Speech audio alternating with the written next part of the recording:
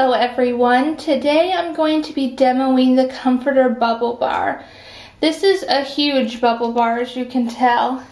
This one's kind of almost um, round, but a lot of times they're more like um, a square with rounded edges.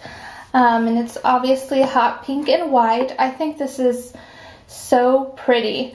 I love the comforter scent. It's like black currant and berryish. It definitely is one of my favorite bubble bars. I'm sure you guys know that by this point. Usually I can get about five uses out of this. I usually just kind of cut it in little slices like that. And then um, I definitely get five baths out of it, even in my bigger bathtub. So um, I'm going to go ahead and cut this up, but I did want you to see what it looked like before I cut it into the smaller pieces. So I'll be right back with you.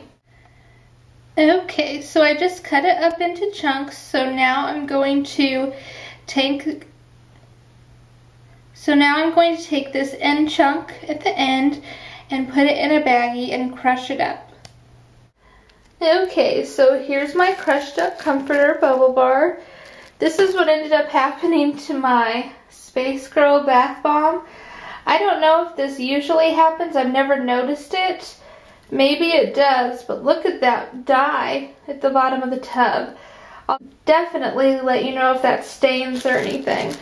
But it's not even filled up through the first jets or through the whole row of jets in my tub. So I'm not going to use my jets actually for this because I know people like to see me not use them so they can see how their tubs will work that don't have jets with these bubble bars. So what I'm going to do is just turn it on.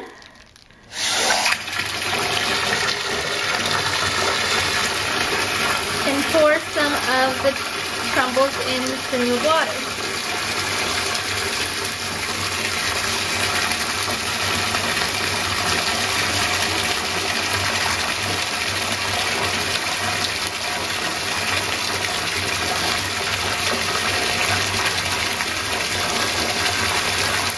pour a little bit more.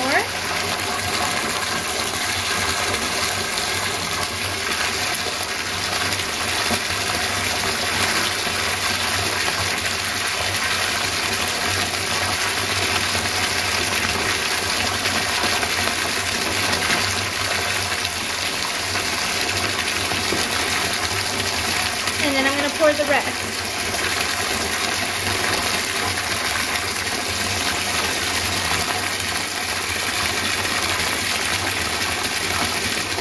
We're already getting a pretty good mound of bubbles in here, as you can see.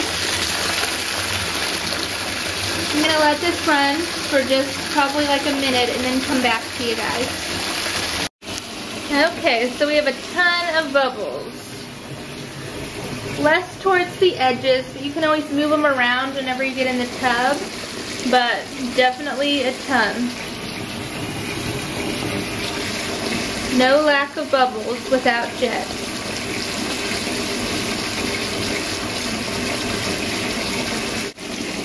Okay, so that's the end of the comforter demo. Let me turn off the water here and show you the water. It's going to be definitely pink from the Space Girl bulb, uh, bath bomb, but also from the comforter. Like, this water is so pretty so awesomely pink. How pretty is that? It's the perfect temperature. I love it when that happens.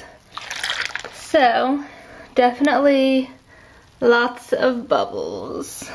So, if you have any questions, write them down below. Otherwise, have a wonderful day and I will talk to you later. Bye.